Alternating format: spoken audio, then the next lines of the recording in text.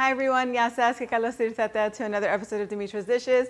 Today I'm going to teach you how to make a blueberry strudel that's going to be wrapped in phyllo and then it's going to be topped with a vanilla yogurt sauce.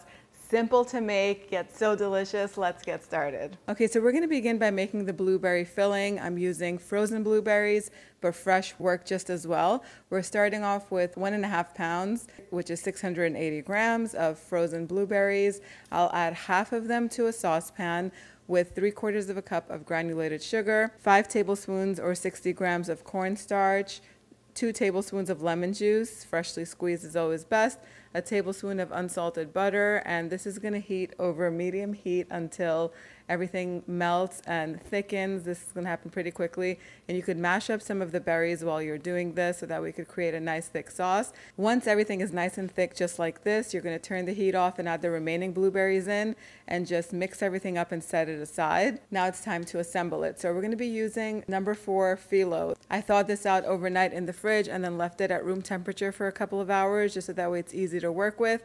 We're not using the whole thing, only about 14 sheets of this. The rest we'll pack up and use it for another time. So I'm going to take one sheet at a time, drizzle some butter. I have half a pound of butter, which might be a little bit too much, but I can save the rest for later if I have any leftovers.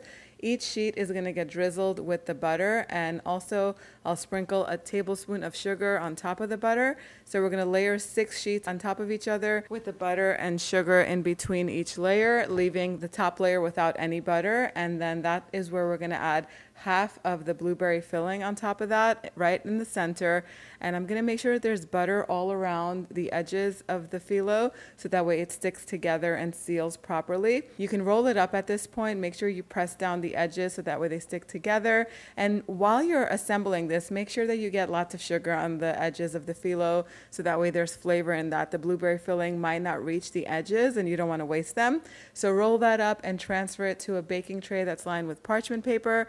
We're making two strudels. You could bake both of them or freeze one. I'll be baking both today because they're just so good. We're going to do the same thing with the second batch of phyllo and filling, and then we'll brush the tops with lots of butter, sprinkle a little bit more sugar on top. I also tuck the edges of the phyllo in just so that way it bakes evenly. I'm just going to poke in some slits just on top so that way it has some room to breathe in there while it's baking. This is going to go in the oven and it'll bake at 350 degrees Fahrenheit for about 45 minutes or until it's crispy and golden all around.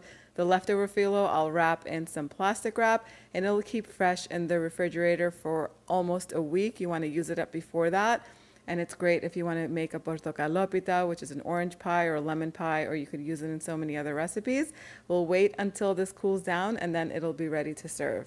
Okay, so I baked both of my strudels, but you can definitely freeze one and then once it's frozen solid, wrap it tightly in either plastic wrap or you could do parchment paper and aluminum foil just to keep it from absorbing freezer odors. And then you can just bake it frozen whenever you need it. It's just gonna take a couple more minutes to bake if it's straight out of the freezer frozen. You don't have to thaw this overnight or even thaw it at all. It just bakes straight, straight away, just like we baked the fresh one. You will notice that even though I made some slits on top of my strudel, some of those blueberries did make it out of the, of the pastry, but that's totally fine when you're making a homemade dessert, it's not going to be perfect like it came out of the factory, and it shouldn't be. I just squish them back in, and anywhere I find an opening, I just I'll just push that filling back in, and it's perfectly fine. I slice it up before I serve it anyway, so you don't even know that that happened, and it doesn't really matter that that happened anyway. Nothing goes to waste. While the strudel was cooling, I just whipped up a little yogurt sauce to serve along with this.